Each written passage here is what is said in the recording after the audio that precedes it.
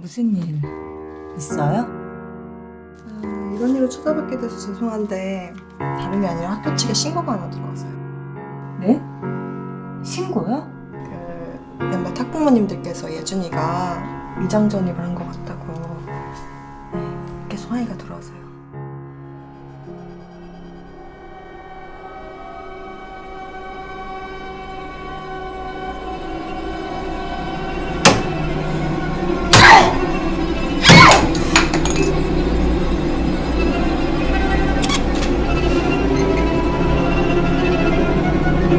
you.